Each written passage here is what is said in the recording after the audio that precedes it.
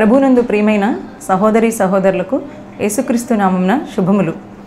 మనందరినీ ప్రవచన గ్రంథ వర్తమానములు అనే టీవీ కార్యక్రమానికి ప్రేమపూర్వకంగా ఆహ్వానించుచున్నాము. మొదటగా సహోదరి హైమవతి గారు మనకు ఒక ఆరోగ్య చిట్కాను వివరించి తదుపరి దైవ వర్తమానమును బోధించెదరు. వీరందరూ విని దైవ దీవెనలు పొందగలరని కోరుకొంచున్నాను. ఆకాశమందున్న ఆసీనుడా నీ తట్టు కనులెత్తుచున్నాను. నేను నీ తట్టు కనులెత్తుచున్నాను. కరుణించుమా యేసు కాపాడుమా. నీ తట్టు కనులెత్తుచున్నాను. నేను నీ తట్టు కనులెత్తుచున్నాను. చదరిపోయిన గొర్రెను నేను దారిగానక తిరుగుచున్నాను. చెదరిపోయిన గొర్రెను నేను దారిగానక తిరుగుచున్నాను. కరుణించుమా యేసు కాపాడుమా. నీ తట్టు కనులెత్తుచున్నాను. నేను నీ తట్టు కనులెత్తుచున్నాను. గాయపడిన గొర్రెను నేను బాగు చేయుమా? పరమ వైద్యుడా గాయపడిన గొర్రెను నేను బాగు చేయుమా? పరమ వైద్యుడా కరుణించుమా యేసు కాపాడుమా. నీ తట్టు కనులెత్తుచున్నాను. నేను నీ తట్టు కనులెత్తుచున్నాను. ఆకాశమందున్న సీనుడా నీ తట్టు కనులెత్తుచున్నాను. నేను నీ తట్టు కనులెత్తుచున్నాను. ప్రియమైనటువంటి దేవుని బిడ్డలారా మీ అందరికీ కూడా యేసుక్రీస్తు నామంలో శుభములు కలుగును గాక. అందరు బాగున్నారా? మీరందరూ కూడా దయచేసి టీవీకి దగ్గరగా వచ్చి కూర్చోవలసిందిగా కోరుతున్నాము. దేవుడు ఇంతకాలం మనల్ని కాచి కాపాడినందుకు దేవునికి లెక్కలేని వందనాలు స్తోత్రాలు చెల్లిస్తున్నాము. మనము దేవుని యొక్క వాక్యానికి వెళ్ళబోయే ముందుగా ఒక ఆరోగ్య సంబంధించినటువంటి సలహాను మనము నేర్చుకుందాము. మనకి రాత్రులు పడుకునేటప్పుడు చక్కగా నిద్ర పట్టాలి. కొంతమందికి నిద్ర సరిగ్గా పట్టట్లేదని బాధపడుతూ ఉంటారు. దేవుని స్తుతించి పాటలు పాడుకొని ప్రార్థన చేసుకొని వాక్యం చదువుకొని మనం నిద్రించినప్పుడు మనకి దేవుడు తోడుగా ఉన్నాడు. నిద్రించినప్పుడు ఏ భయం కూడా ఉండదు. అయితే ఇంకోటి ఆరోగ్య విషయంగా కూడా చూసుకున్నట్లయితే మనము మెంతులు పావు కిలో తీసుకొని దాన్ని కొంచెం దోరగా వేయించేసి అలాగే వాము కూడా వంద గ్రాములు తీసుకుని దాన్ని కొంచెం దోరగా వేయించేసి తర్వాత నల్ల జీలకర్రని కూడా తీసుకొని ఒక యాభై గ్రాములు దోరగా వేయించేసి మొత్తాన్ని కూడా మిక్స్ చేసేసి మరి గ్రైండర్లో వేసి మిక్స్ చేసినప్పుడు మొత్తం పిండిలాగా అయినప్పుడు రాత్రులండి పడుకునేటప్పుడు అది తీసుకున్న తర్వాత గ్లాస్ వేడి ఒక స్పూను అప్పుడు వేసుకుని చక్కగా కలుపుకొని తాగేసినట్లయితే మనకి చక్కగా నిద్ర పడుతుంది హాయిగా ఉంటుంది. ఇటువంటి ఈ యొక్క బొడిదిడుకులు ఉండవండి. అంటే కడుపులో ఉన్న గడబిడలని అవన్నీ ఉంటాయి అవన్నీ కూడా తగ్గిపోతాయి. కాన్స్టిపేషన్ అవన్నీ ఉండవు. చక్కగా బాగా ఆరోగ్యంగా ఉండగలుగుతాం. అనేక రోగాలను కూడా నివారిస్తుంది. కాబట్టి మన యొక్క ఈ విధమైనటువంటి చికిత్స చాలా ఉపయోగకరంగా ఉంటుంది. గ్యాస్ ట్రబుల్ ఉన్న వారికి కూడా ఆ గ్యాస్ ట్రబుల్ తగ్గిస్తుంది. కాబట్టి ప్రియమైనటువంటి సహోదరి సహోదరులారా దీన్ని ఆచరించి చూడండి. తప్పకుండా మీకు కూడా మంచి ఆరోగ్యం కలుగుతుందండి. లావుగా ఉన్నటువంటి వాళ్ళు కూడానండి దీని ద్వారా మూడు నెలలు అలా వాడిన తర్వాత కొంచెం శరీరంలో కూడా స్థూలకాయము క్రమక్రమంగా తగ్గడం కూడా మీరు చూస్తారు. దేవుడు మనందరినీ కూడా ఆస్వాదించిన గాక ఆరోగ్యముతో సౌఖ్యముతో ఉండాలని కోరుతూ మిమ్మల్ని అందరినీ కూడా ప్రభు పేరిట ఆయన యొక్క సన్నిధిలో మీరు ఆనందించాలని దేవుని యొక్క ఉద్దేశమైంది ఆ విధంగా మీరు ఉండాలని నమ్ముచున్నాను. వాక్యంలోనికి మనము ప్రవేశించక ముందుగా చిన్న ప్రార్థన చేసుకుందాము. అయ్యేసేపు జీవితంలో ఏ విధంగా దేవుడు కష్టాల నుంచి ఉన్నతమైన పదవికి ఏ విధంగా తీసుకుని వెళ్ళాడు మనం నేర్చుకుందాము. పరిశుద్ధుడా ప్రేమస్వరూపుడా దయగల తండ్రి కృపగలన మా దేవ మా రక్షక నాయన. మీరు చేసిన మేలు బట్టి మీకు లెక్కలేని వందనాలు నాయన. ఈ వాక్యం ద్వారా మీరు మాతో నాతో మాట్లాడి మమ్మల్ని సత్య మార్గంలో నడిపిస్తూ అనేక మందికి ఆశీర్వాదకరంగా మీ నామని మహిమకరంగా ఉండటం సహాయం దయచి నాయన. మా హృదయాలను శుద్ధి చేసే దేవుడో నీవే తండ్రి నాయన. ప్రతి ఒక్క బిడ్డ విండైన దీవెనలో ఆధ్యాత్మికంగా కూడా అభివృద్ధి చెందినట్లుగా సహాయం దయచేయండి. వారికి ఆర్థిక ఇబ్బందులు ఉన్నప్పుడు ఆర్థిక ఇబ్బందులను తీర్చండి నాయన. వారికి అన్ని అవసరతను తీర్చి నడిపించండి. వారి కుటుంబాలను మీరు దీవించండి. బంధుమిత్రాదులను ఆస్వాదించండి. స్నేహితులను దీవించిన ఆయన బిడ్డలకు మేలు జరిగేలాగా ఆయురారోగ్య ఐశ్వర్యములతో నీ బిడ్డలు వర్ధిల్లినట్లుగా చేయమని మీ యొక్క పాసందులో మీ పాదాలు పట్టుకొని బ్రతిమలాడుచు అడిగి వేడుకొంచున్నాము తండ్రి. ఆమెన్. ఇప్పుడు మనం చూసుకున్నట్లయితే మార్కు స్వార్తలోకి వెళ్దామండి. మార్కు స్వార్త నాలుగవ అధ్యాయము ముప్పై ఐదవ వచనంలో ఏ విధంగా ఉందంటే ఆ దినమే సాయంకాలం అయినప్పుడు ఆయన అద్దరికి పోవుదమని వారితో చెప్పగా. యేసుక్రీస్తు ప్రవారు సాయంకాలం అయింది ప్రతి ఒక్కరి జీవితంలో సాయంకాలం అవటం అనేది ఉంటుందండి. ప్రతి ఒక్కరి జీవితంలో సాయంకాలం అయిపోయిందంటే ఏంటంటే అక్కడ అర్థం? చీకటి. ప్రతి మానవుని జీవితంలో చీకటి అనేది ఉంటుంది. చీకటని ఉన్నప్పుడు యేసుక్రీస్తు ప్రభువారు ఏమంటున్నారంటే ఇక్కడ మనం చక్కగా గ్రహించుకోవాలండి. మానవుని యొక్క జీవితంలో చీకటి అనేది వచ్చినప్పుడు దేవుడు ఎక్కడున్నాడు? దేవుడు ఉంటే ఎందుకు ఇలా జరుగుతుందని మనం ప్రశ్నిస్తూ ఉంటాము. అలాంటి ప్రశ్నలు కాదండి. ఇటువంటి సమస్యలు ఉన్నప్పుడు మనం ఏ విధంగా నడుచుకోవాలో మనం దేవుని దగ్గరికి ఎలా జీవించాలో అనే విషయాల గురించి ఈరోజు మనం నేర్చుకోబోతున్నాము. ఇప్పుడు బాగా వాళ్ళు అద్దరికి వెళ్ళినప్పుడు చక్కగా పడవని తీసుకువెళ్ళి యేసుక్రీస్తు ప్రవారు ఉన్నప్పుడు చక్కగా వాళ్ళందరికీ బోధించారు దినమంతా బోధించారు సాయంకాలం అయిపోయింది వాళ్ళని పంపించారు. ఆయన అద్దరికి వెళ్దామని ఆ యొక్క పడవను త్రిప్పమన్నప్పుడు వారు పడవలో ప్రయాణం చేస్తూ వెళ్తూ ఉన్నారు. యేసుప్రవారు దినమెల్లా బోధించి బోధించి శారీరకంగా ఆయన అలసిపోయి నిద్రిస్తూ ఉన్నారు. నిద్రిస్తున్న సమయంలో పెద్ద గాలి తుఫాన్లు రేగినాయి. వీళ్ళందరూ జ్ఞాపకం చేసుకోవాలండి వీళ్ళందరూ కూడా సముద్రంలో పనిచేసేటువంటి వారే. వాళ్ళందరూ కూడా సముద్రంలో మనము చూసుకున్నట్లయితే వాళ్ళకి తెలుసు ఏ విధంగా ఈత కొట్టాలి ఏ విధంగా రక్షించుకోవాలో కూడా తెలుసు. పెద్ద గాల్ తుఫాన్లు వస్తున్నాయి పడవలో నీళ్ళు వచ్చేస్తున్నాయి ఆ పడవలో ఉన్న నీళ్ళని బయటకు తీసేస్తున్నారు. అయితే ఈ గాల్ తుఫాన్ని వాళ్ళు ఆపలేకపోతున్నారు అలలన్నీ పై పైకి వచ్చేస్తున్నాయి. అప్పుడు ఏం జరుగుతుందంటే ఇక్కడ చూసుకున్నట్లయితే వాళ్ళు ఏం చేయలేని పరిస్థితిలో ఉన్నారు.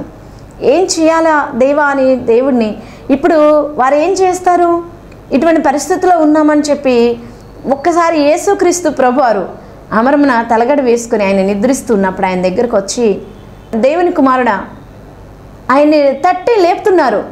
మీకు చింత లేదా? మేము నశించిపోతున్నాము ఎంత చక్కగా ఆయన్ని నిద్రించి ఉన్నాడండి వారు ఆయన లేపేసి ఏమని అంటున్నారండి ఇక్కడ? ముప్పై ఎనిమిది వచ్చినలో వారు ఆయన లేపి బోధకుడా మేము నశించిపోవచ్చున్నాము నీకు చింత లేదా? దేవునికి చింత లేదా? అని అడుగుతున్నారండి. మీకు చింత లేదా? అని అడిగి ఆ విధంగా మేము నశించిపోతున్నాం నీకు చింత లేదని ఆయనతో అన్నారు. అందుకు ఆయన లేచి గాలిని గద్దించారండి. సర్వశక్తి ఉన్న దేవుడు అండి ఆయన ద్వారానే సృష్టి అంతా జరిగింది. యోహాన్ స్వార్తలో మొదటి అధ్యాయంలో ఒకటి నుంచి మనం చూసుకున్నట్లయితే అదేందు దేవుడు ఉండెను వాక్యము దేవుడై ఉండెను ఆ వాక్యము దేవుని యొద్ద ఉండెను మనం చూసుకోవచ్చండి. ఆయన వాక్యమై ఉన్న దేవుడు. ఆయన ఒక మాట సెలవిస్తే అక్కడ జరిగిపోతుంది అంతే వాక్యమై ఉన్న దేవుడు ఒక మాట సెలవిస్తే అక్కడ జరుగుతుంది. యోహన్ స్వార్థ ఒకటో అధ్యయం ఒకటో వచనంలో. ఇక్కడ అలాగే లేచి గాలిని గద్దించారు. సముద్రాన్ని అలను కూడా నిమ్మలమైపోమని చెప్పారు. వెంటనే చక్కగా నిమ్మలం అక్కడ ప్రశాంతత లభించడం మనం చూస్తున్నాము. చంద్రుడు ఉంటాడు. ఆ చంద్రుని యొక్క ప్రకాశము చక్కగా ఉన్న ఆ నీళ్ళపైన ఆ సముద్రం పైన పడినప్పుడు వెండి త్రోవ వలె చక్కగా త్రోవ కనిపిస్తుంది. నక్షత్రాలు మరలా వచ్చేసాయి. చంద్రుడు వచ్చాడంటే వర్షము ఉండదు గాలి తుఫాన్లు ఉండవు కదండి? చక్కగా మరలా వాటి స్థానంలోనికి అవి వచ్చేసినాయి. ఇక్కడ యేసుక్రీస్తు ప్రభువారు మాత్రము వాళ్ళని చిన్నగా గద్దించారు. ఏమన్నారంటే అప్పుడు ఆయన మీరెందుకు భయపడుచున్నారు మీరెందుకండి భయపడుతున్నారు?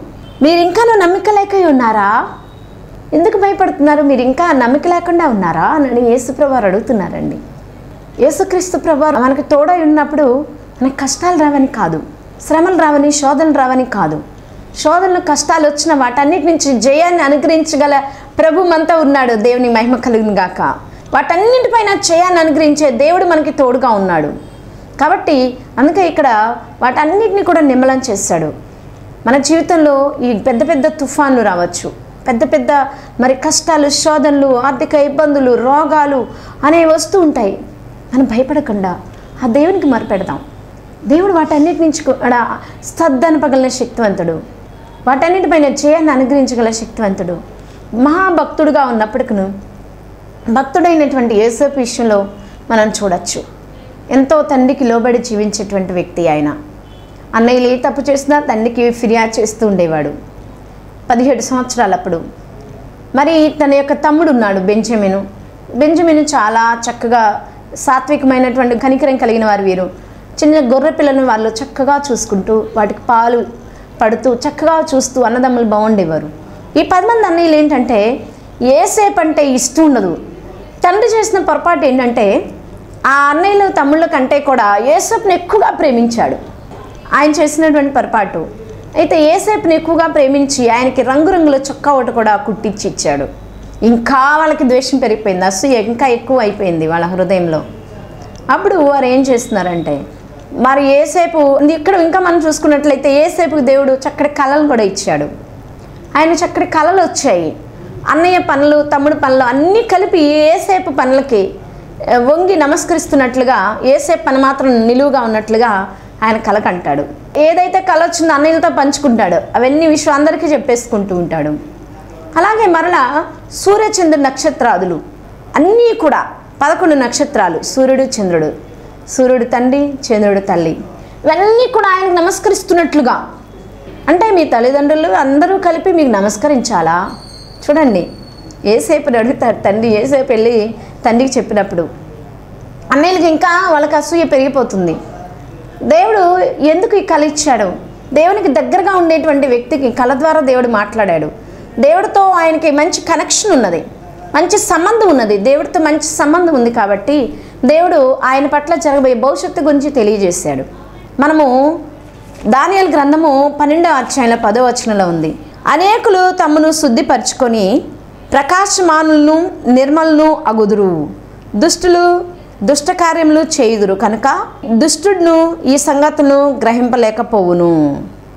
ఎందుకంటే వాళ్ళు దుష్టకార్యాలు చేస్తారు కాబట్టి వాళ్ళు ఈ యొక్క సంగతులను గ్రహించలేరు.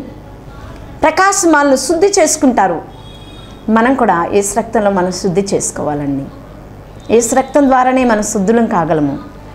ఏసు రక్తంలో మనం మనం శుద్ధి చేసుకొని ప్రకాశమానంగాను నిర్మలుగాను ఉండాలి.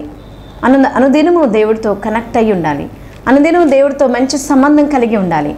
ఇక్కడ ఏసేపుకి కష్టాలు వచ్చినప్పుడు ఏం జరిగిందండి? ఏసేపుకి కష్టాలు ఏ విధంగా ప్రారంభమయ్యో మనం ఇక్కడ చూద్దాం చూడండి ఇక్కడ. తండ్రి ఒకరోజు ఏసేపుని పిలుస్తాడు. పిలిచి నాయనా మీ అన్నయ్యలు ఇంకా ఎక్కడికి వెళ్ళారో తెలీదు మీ అన్నలను చూసిరామని వారికి కొన్ని ఆహార పదార్థాలు తీసుకొని వెళ్ళమని చెప్పి చెప్తాడు. తండ్రి మాటకు విధేయుడే అన్నయ్యల దగ్గరికి వెళ్తాడండి. వెళ్ళిపోయి ఎక్కడెక్కడో ఇదుగుతాడు. ఇంకా అక్కడెక్కడ ఉన్న వాళ్ళని కూడా అడిగి మా అన్నయ్యలు ఇటు వచ్చారా? దయచేసి చెప్పండి అని అన్నయ్యలను గురించి ఎంత ఎంక్వైరీ చేసుకుంటూ చివరికి ఎక్కడో కొండపై నుంచి చూస్తాడు కింద ఎక్కడో అన్నయ్యలు గొర్రెలు మేపుతూ ఉండగా. వెళ్ళారు అక్కడికి వెళ్ళి అన్నయ్యలు అక్కడ గొర్రెలు మేపుతూ ఉండగా అన్నయ్యలు చూసినప్పుడు సంతోషంగా నిష్కపటమైన హృదయంతో ఉన్న వ్యక్తి వస్తాడు రాగానే అదిగోరే కలలుగానే వాడు వస్తున్నాడు. వాడిని ఈరోజు మనం ఫినిష్ చేద్దాం అనుకొని చెప్పుకుంటూ ఉన్నారు. ఆయన యుద్ధం ఉన్నటువంటి వస్త్రాన్ని కూడా తీసేసి తండ్రి కుట్టించినటువంటి అంగిని అంగీని ఆ చొక్కాను కూడా తీసేసుకుంటారండి. తీసేసుకొని తమ్ముడిని కొట్టి గుంట్లో పడేస్తారు. అందులో వాళ్ళందరూ కూడా చంపేయాలని ప్లాన్ కలిగి ఉంటారు. రూపేని మాత్రం చంపనివ్వడు. కొంతమంది చంపాలనుకుంటారు కొంతమంది చంపనివ్వరు. అలా ఆ గుంపులో ఉన్నారు. వాళ్ళు ఏసేపు తీసుకొచ్చినవన్నీ ఆహార పదార్థాలు తిన్నారు కానీ ఏసేపు మాత్రం ఒక్కడ కూడా ఏం పెట్టలేదు. వీళ్ళైతే ఆయన గుంటలో ఉండి బహుశా అన్నయ్యలు నన్ను బయటకు తీరా అని బాధపడుతూ ఏడుస్తూ ఉండి ఉండొచ్చు. అయితే ఇక్కడ మనం చూసుకున్నట్లయితే ఇస్మాయిల్ వారు ఆ వ్యాపారస్తులు ఆ యొక్క మార్గం గుండగా వెళ్తూ ఉండగా ఆ మార్గం గుండా వెళ్తున్నటువంటి వారిని పిలిచి ఏసేపుని వాళ్ళకి అమ్మేస్తారండి ఇరవై వెండి నాణ్యాలకి ఇక్కడ యేసుక్రీస్తు ప్రభువారిని కూడా ఇక మంచి సూచనగా ఉందండి. యేసు ప్రభువారిని కూడా అలాగే చేస్తారు కదండి. ఆ సొంత మనుషుల కొరకు వచ్చారు కానీ యేసుప్రభువారు సొంత మనుషులే యేసుప్రభువారిని అమ్మేస్తారు. ఆయన అంగీకరించక. ఇలాగే ఇక్కడ ఏసేపుని వారి సొంత వాళ్ళే అన్నయ్యలే అమ్మేశారు. బానిసగా. మరి బానిసగా ఆ ఫరో వాళ్ళకి ఇస్మాయిల్ వారికి అమ్మేసినప్పుడు మరి ఈ యొక్క ఫోతిఫరు ఇంటిలో ఆయన ఒక పనివాడుగా బానిస అయినప్పటికీ ఆయన ప్రతి పనిలో నమ్మకంగా ఉండటం వలన దేవుని ఎందుకు భయభక్తులు కలిగి ఉన్నాడు. ఇప్పుడు వారు అమ్మేసినప్పుడు బానిసగా వచ్చినప్పుడు ఆ తండ్రిని వదిలిపెట్టి తమ్ముని వదిలిపెట్టి ఎంతో దూరం ఎంతో దూరం వెళ్ళాల్సిన పరిస్థితి వచ్చింది. అయినప్పటికీ నిజ దేవుని పట్ల ఆయన భక్తి కలిగి ఉన్నాడు. నాతో దేవుడు ఉన్నాడని మీరు చక్కగా దేవుని యొక్క వాక్యంలో చూసుకున్నట్లయితే ఏసేపు యొక్క చరిత్రలో మనం ఆదికాండలో చూస్తే ఏసేపు యొక్క కథంతట్లో కూడా ఆయన ఎక్కడా దేవుని ప్రశ్నించలా ప్రభు ఎందుకు ఇలా చేసావు నాకే జరగాల ఇలాగా? అని ఎప్పుడూ కూడా అనలేదండి. కానీ ఆయన ప్రతి పనిలో తనకిచ్చిన ప్రతి దాంట్లో నమ్మకంగా ఉన్నాడు. నమ్మకంగా ఉండి దేవునికి దేవుని చేత అంగీకరించబడిన వ్యక్తిగా మనకి ఇక్కడ కనిపిస్తున్నాడు. అందుకే దేవుడు ఆయన తోడై ఉన్నాడు. ఆదికాండం ముప్పై తొమ్మిదవ అధ్యాయం రెండో వచనంలో దేవుడు ఆయనకి తోడై ఉన్నాడు. దేవుడు ఆయనకి తోడై ఉన్నాడు ప్రతి విషయంలో కూడా. ఇప్పుడు మనం అనుకోవచ్చు దేవుడు ఆయన తోడై ఉన్నప్పుడు ఎందుకు ఇంత కష్టం వచ్చిందని? అయినప్పటికీ కూడా మనం దేవుడు నమ్ముకున్నంత మాత్రాన మన పరీక్షలు రావని కాదు కష్టాలు రావని కాదు. కష్టాలు రావు పరీక్షలు రావు శోధనలు రావు శ్రమలు రావు అంటే అదే అబద్ధ బోధ. దేవుడు నమ్ముకున్నప్పటికీ కూడా ఇటువంటి కష్టాలు వస్తాయి శ్రమలు వస్తాయి బాధలు వస్తాయి ఇరుకులు వస్తాయి ఇబ్బందులు వస్తాయి. వాటన్నిట్లో నుండి కూడా దేవుడు మనం తప్పించగల సమర్థుడైన దేవుని వైపు మనం చూడాలండి. కాబట్టి ఇటువంటి సమయంలో ఉన్నప్పుడు వాళ్ళకి ఎంతో కష్టము బాధ వచ్చినప్పటికీ కూడా ఏసేపుకి వాటన్నిటి నుంచి దేవుడు ఎలాగ తప్పించాడో మనం చూడొచ్చు. ఇప్పుడు ఫోర్తిఫర్ ఇంట్లో ఉన్నాడు. ఫోర్తిఫర్ ఇంటి అంతటిని దేవుడు ఆస్వాదించడం చూశాడు. ఇంటంతటి పైన అధికారిగా ఉంచాడు ఫోర్తిఫర్ని ఫోర్తిఫర్ని ఇంటంతటి పైన అధికారిగా ఉంచినప్పుడు ఏం జరిగిందండి? మరి అన్నిటినీ ఆయనకు ఒక్కటే ఒకటి తెలుసు వచ్చాడా తిన్నాడా తినేసి చేయి కడుక్కొని వెళ్ళిపోయాడా అంతే. ఫోతిఫర్కి అదే తెలుసు. మిగతా అన్ని కార్యక్రమాలు చక్కగా నిర్వర్తిస్తూ చక్కగా జరిగిస్తున్నాడు ఏసేపు. మరి ఏసేపు బహు సుందరుడు యవనస్తుడు. ఫోతిఫర్ భార్య ఏసేపు మీద కన్ను వేస్తుంది. ఆమెతో శయనించడానికి రమ్మని ఆయన్ని అనేకసార్లు శోధిస్తుంది. దానికి ఒప్పడు ఏసేపు.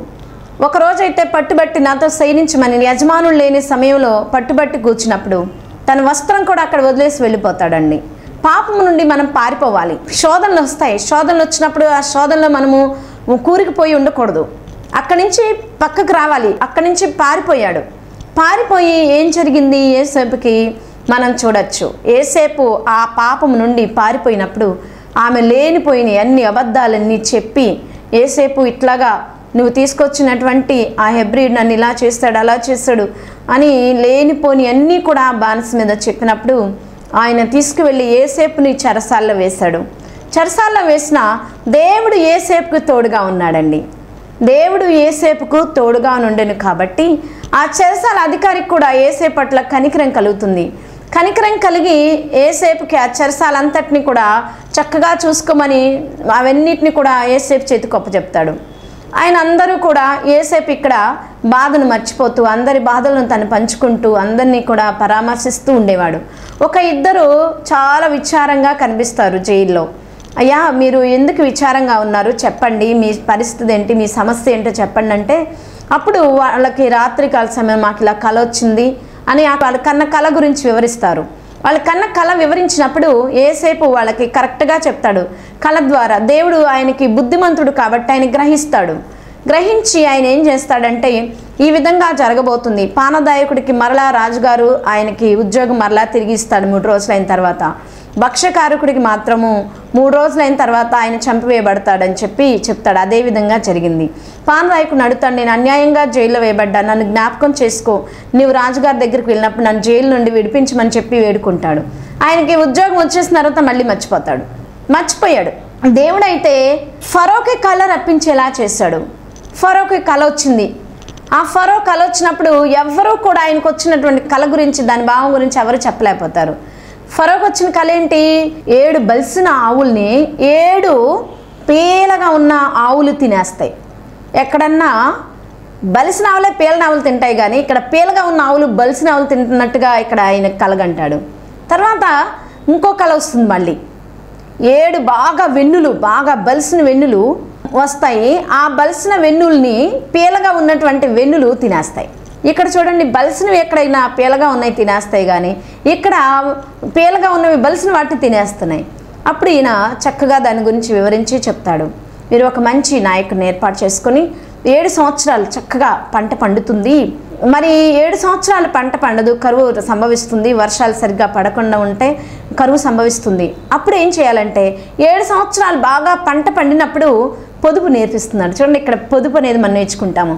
ఆ పండినటువంటి పంటను కొట్లలో కూర్చుకొనండి. కొట్లు అన్నిటినీ కూడా చక్కగా నిర్మాణం చేసి వాటిని అన్నిట్లో ఈ ధాన్యాన్ని నిల్వ చేసుకొని ఉంచుకున్నట్లయితే ఎప్పుడైతే కరువు సంభవిస్తుందో ఆ కరువు కాలంలో వీరు తప్పకుండా ఈ యొక్క ధాన్యాన్ని బయటకు తీసి అప్పుడు భుజించవచ్చు. అన్ని చుట్టుప్రక్కల ఉన్న వాళ్ళందరూ కూడా ఆ రోజుల్లో ఈ యొక్క ఐగుప్తే చాలా పై స్థానంలో ఉందండి. దేవుడు నిజంగా చెరసాల నుండి తీసుకొచ్చాడు ఏసేపుని. ఏసేపుని తీసుకొచ్చి రాజుగారి దగ్గర చెరసాల్లో ఉన్న వ్యక్తిలాగే తీసుకురాలి. శుభ్రంగా చేసుకుని ఆ గడ్డం అన్నిటిని కూడా చక్కగా ఆయన శుద్ధి చేసుకుని చక్కగా మంచి వస్త్రాలు ధరించి రాజుగారి దగ్గరకు వచ్చి ఈ విషయాలన్నీ దేవుడు మీకు తెలియజేస్తాడని చెప్తూ తన్ను తాను తగ్గించుకున్నాడు. తను చక్కగా వివరించి చెప్పినప్పుడు ఇక ఏసేపుని నీకంటే ఎవరున్నారయ్యా? బుద్ధిమంతుడు నీవు దేవుని ఆత్మ కలిగిన వాడవు. నా తర్వాత నువ్వే గొప్ప రాజుగా ఫరో అంతటి వాడయ్యాడండి ఇక. నువ్వే రాజుగా ఉండమని చెప్పేశాడు. దేవుడు చూడండి ఎక్కడి నుంచి తీసుకొచ్చాడు? మా ప్రజలందరూ నీకు లోబడి ఉంటారు. చూడండి ఎంత బాగా చెప్తున్నాడు. రాజు ఉన్నాడు అంతే రాజుగా ఫరో కానీ మిగతా కార్యక్రమాలన్నీ జరిపించేవాడు.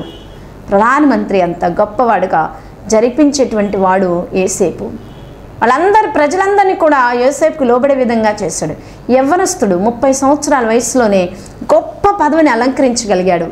దేవుడు ఆయనతో ఉన్నాడు. చూడండి దేవుని యొక్క ఆత్మ ఆయనతో ఉన్నదండి. చెరసాల్లో నుంచి ఎవరైనా అంత గొప్ప పొజిషన్కి రాగలుగుతారా? దేవుడు అటువంటి గొప్ప పొజిషన్ ఇచ్చాడు. కాబట్టి ప్రియమైనటువంటి సహోదరి సహోదరులారా దేవుడు ప్రతిదీ చూస్తూ ఉన్నాడు. అటువంటి సమస్యలు కష్టాలన్నీ వచ్చినప్పుడు ఏసేపుకి ఎలా ఆస్వాదంగా చేసినాయో మనం చూడొచ్చు. ఏసేపు వారి అన్నయ్యలు వచ్చారు. మరి ఏసేపు ఎలా ఉన్నాడండి? ఐగుప్తీల డ్రెస్లోనే ఉన్నాడు. వాళ్ళ అన్నయ్యలు అందరూ వచ్చారు. ఇప్పుడు ఏసేపుకి నమస్కరిస్తున్నాడు. పనులన్నీ కలిపి చెప్పాడు కదా. ఏసేపుకి వచ్చిన కళ ఆ పనులన్నీ కలిపి ఏసేపుకి నమస్కరిస్తున్నట్లుగా. ఏసేపుకు నమస్కరిస్తున్నట్లుగా ఇప్పుడు నెరవేరిందండి. ఆయనకు వచ్చినటువంటి దర్శనం ఆయనకు వచ్చిన కళ ఈ విధంగా నెరవేరింది. ఆయనైతే పరీక్షించాడు. అన్నంలో కూడా వాళ్ళు మొదట్లో ఉన్న ద్వేషం లేదు అసూయ లేదు వారు కూడా పశ్చాత్తాపం చెందారు. తండ్రికైతే వెళ్ళి అబద్ధం చెప్పారు అప్పుడైతే ఇప్పుడు అబద్ధం చెప్పట్లా. నీ కుమారుడిని ఏదో జంతువు చంపేసింది ఈ వస్త్రం మా దారి మధ్యలో దొరికింది ఇది మీ కుమారుడా కాదా చూడండి గుర్తుపట్టమని ఇచ్చారు. కానీ ఇప్పుడు అలా లేదండి. చాలా మార్పు చెందారండి. వారిలో మార్పు కనిపించింది. ఆయన పరీక్షించి కూడా అన్నయ్యల యొక్క గుణం ఎలా ఉంది మార్చుకున్నారా లేదని కూడా చూసి అప్పుడు తను తాను వాళ్ళకి ప్రత్యక్షపరచుకుంటాడు. వాళ్ళ భుజముల మీద పడి వాళ్ళ ముద్దు పెట్టుకొని దుఃఖిస్తాడు అన్నలారా. మీరు నన్ను ఈ విధంగా చేశారని మీరేమీ మీరు ఏమాత్రం కూడా చింతపడవద్దు. దేవుడు మనందరినీ రక్షించడానికి ఆయన ప్రణాళిక. దేవుడికి ఒక ఉద్దేశం ఉన్నది. మనందరినీ ఇంత గొప్ప స్థాయికి తీసుకురావాలని మనకి ఆహారం లేనటువంటి సమయం కరువు వచ్చిందంటే అందరూ మరణిస్తారు కదా. మ్యాన్ ఆఫ్ ది అవర్ లాగా ఏసేపుని దేవుడు వాడుకున్నాడండి. ఇప్పుడు మన తండ్రి క్షేమంగా ఉన్నాడా అని అడుగుతున్నాడండి. మన తండ్రిని నా యొద్దకు తీసుకుని రాగలన్నప్పుడు సంతోషంగా తండ్రిని తీసుకొని వస్తున్నప్పుడు ఈయన రథం వేసుకొని వెళ్ళి ఆ తండ్రిని ఎదుర్కోవడానికి వెళ్ళి ఆ తండ్రి అల్లంత దూరానికి కనిపించినప్పుడే రథం దిగి తండ్రిని ఎదుర్కోవడానికి కాలు నడుకున పరుగు పరుగున వెళ్తాడండి. మరి ముసలితనంలో ఉన్న యాకోబు కూడా కుమారుడు క్షేమంగా ఉన్నాడంటే ఎంత సంతోషము. నా మనకి మహిమ కలుగును గాక ప్రియమైన వారులారా మనకు వచ్చిన కష్టాల్లో కూడా దేవుడు మనకి తోడుగా ఉండి దాన్ని మనకి ఏం చేస్తాడు? చేయకరంగా చేస్తాడు. మనం ఓపిక పట్టి ఓర్పుతో ప్రార్థన చేసుకుంటూ దేవుని దగ్గరగా మనం జీవించవలసిన వారమై ఉన్నాము. ఇప్పుడు ఈ యొక్క రాత్రికాల సమయం అనేటువంటిది ఎవరి జీవితంలో రాదని కాదండి. అలా రాత్రికాల సమయము ఏర్పడినప్పుడు దేవుడు ఇంకా ఏం చేస్తున్నాడండి ఇంత గొప్ప అద్భుత కార్యాన్ని చూసినటువంటి శిష్యులు కూడా ఏం చేస్తున్నారో చూడండి ఇక్కడ. మనము మార్కు స్వార్తలో మనం చూసుకున్నట్లయితే ఐదవ అధ్యాయంలో వారు అద్దరిని ఉన్నటువంటి గెరాసేన్ల దేశానికి వెళ్ళారండి. వారు ఆ సముద్రం మనకు అద్దరికి వెళ్ళినప్పుడు దయాల్ పట్టి ఉన్నటువంటి ఒక ఆయన కనిపిస్తాడు. వీళ్ళకైతే మరలా డౌటే. ఏమవుతాడు? యేసుక్రీస్తు ప్రభు వారు ఈయన దయ్యాలు పట్టి ఉన్న వ్యక్తి ఆయన గొలుసులతో కట్టేసిన తాళ్ళతో కట్టేసిన అస్సలన్నిటిని తెంపేసుకొని వెళ్ళేటువంటి వాడు. కేకలేస్తూ ఉంటాడు. ఆయన చూపే డిఫరెంట్గా ఉంటుంది. ఒంటి మీద ఉన్న వస్త్రాలని చింపుకుంటాడు. శరీరాన్ని గాయపరుచుకుంటూ ఉంటాడు. ఇట్లాంటి పరిస్థితిలో ఉన్నటువంటి వ్యక్తిని చూశాడు. యేసుక్రీస్తు ప్రభువారు. నిజంగా అండి ఆయన ఆ దయ్యాలైతే అసలు కేకలేస్తూ ఉన్నాయండి. దయ్యాలు కూడా ఆయన అపవిత్రాత్మ ఈ మనుష్యుని విడిచిపోమ్మని వారితో చెప్పాడండి. యేసుక్రీస్తు ప్రభువారిని ఏమని అయితే చూసారా అండి? యేసు సర్వోన్నతుడైన దేవుని కుమారుడా అని పిలుస్తున్నాయండి. దయాలు కూడా తెలుసు ఆయన సర్వోన్నతుడైన దేవుని కుమారుడని. సర్వోన్నతుడైన దేవుని కుమారుడా నాతో నీకేమి నన్ను బాధపరచుకోమని దేవుని పేరట నీకు ఆనబెట్టుచున్నానని బిగ్గరగా కేకలు వేసేయండి. దేవుడైతే గద్దించాడు. ఆ వేడుకున్న ఏంటో తెలుసండి? ఆ పందుల మంద ఒకటి మేపుతూ ఉంటారు. ఆ మందులోనికి వెళ్ళేట్టుగా మాకు ఆజ్ఞాపించమని వేడుకున్నప్పుడు దేవుడు ఆ పందుల మందులోకి వెళ్ళునట్టుగా ఆజ్ఞాపించగానే ఈ యొక్క అపవిత్రాత్మలన్నీ పందుల గుంపులోకి వెళ్ళిపోతాయి. పందులన్నీ కలిపి ఆ సముద్రంలో పడి చనిపోతాయి. ఈయనైతే స్వస్థత పడి ఒక్క ఆత్మ మానవుడు దేవుని స్వారూప్యంలో చేయబడిన మానవుడు నశించిపోవడం దేవుడికి ఇష్టం లేదండి. జంతువులు అన్నీ నశించిపోయినా ఆయనకి బాధ చింత లేదు కానీ ఒక్క మానవుడు మాత్రం నశించిపోవడం దేవుడికి ఇష్టం లేదు. దేవుడు మనల్ని జంతువుల కంటే శ్రేష్ఠులుగాను పక్షుల కంటే శ్రేష్ఠులుగాను అన్నిటికంటే శ్రేష్ఠులుగా మనం చేస్తాడు. ఆయన స్వారూప్యంలో మనం ఉండగలిగినట్లుగా చేస్తాడు. ప్రియమైనటువంటి సహోదరి సహోదరులారా ఇటువంటి కష్టాలు శ్రమలు ఇరుకులు ఇబ్బందులు వచ్చినా వాటన్నిటి నుంచి తప్పించగల శక్తివంతుడైన దేవుడు మనకున్నాడు. మనం దాని కిందగా మనం చూసుకున్నట్లయితే దేవుడు ఏ విధంగా పన్నెండు సంవత్సరాలు ధర్మశాస్త్ర బోధకుని యొక్క కుమార్తె యాయూరు కుమార్తెను దేవుడు స్వస్థపరిచాడు. ఆమెను మరణం నుంచి తిరిగి లేపాడు. పన్నెండు సంవత్సరాల రక్తస్రావ రోగంతో బాధపడుతుంది. మరి డబ్బులన్నీ కూడా వ్యయం చేసుకుంది. ఎంతోమంది వైద్యులను సంప్రదించింది. అయినా ప్రయోజనం లేనటువంటి ఆ స్త్రీ ఏసుప్రవారి వస్త్రాన్ని ముట్టుకుంటే స్వస్థపరచబడతాను అనుకుంది ఇక్కడ మనం అన్నీ చూసుకున్నట్లయితే సాయంకాలం అయినప్పటికీ ప్రభు మనకి తోడుగా ఉంటే ఎన్ని అద్భుత కార్యాలు చేస్తారో చూడండి. యేసుప్రభర్ మనతో ఉన్నట్లయితే మనకి ఏది వచ్చినా కానీ ఆయన అద్భుత కార్యాలు చేస్తారు. ఇక్కడ ఐదు రొట్టెలు రెండు చిన్న చేపలు ఐదు వేల మందికి పంచిపెట్టి పన్నెండు గంపలు ఎత్తారు. ఏడవ అధ్యాయులు మనం చూసుకున్నట్లయితే కాబట్టి యేసుక్రీస్తు ప్రభువారు మనకున్నట్లయితే ఆర్థికంగా ఆయన సహాయం చేస్తారు. మనకి శారీరక విషయంలో అనారోగ్య పరిస్థితులు ఉన్నప్పుడు ఆయన స్వస్థపరుస్తాడు. మరణం నుండి తిరిగి లేపుతాడండి. మన దేవుడు గొప్ప దేవుని ఎందు విశ్వాసం ఉంచి ముందుకు కొనసాగినట్లుగా దేవుడు మనందరికీ సహాయం చేయనుగాక. ప్రార్థించుకుందామండి.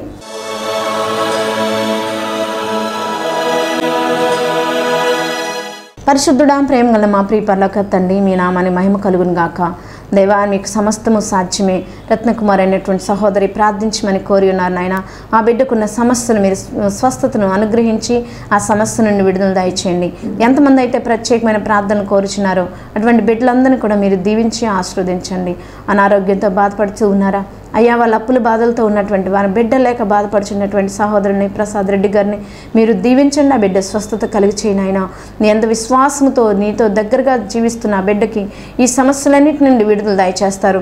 నాయన ఇదిగో స్పైనల్ కార్డ్ సమస్య కూడా వచ్చినది నాయన. ఆపరేషన్ చేయాలని చెబుతున్నారు. ఆ బిడ్డకు వచ్చిన ఆ బాధ నుంచి విడుదల దయచేయగల శక్తివంతుడు నాయన.